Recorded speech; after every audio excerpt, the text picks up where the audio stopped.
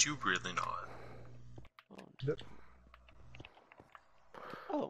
Rihanna knows what knockback is.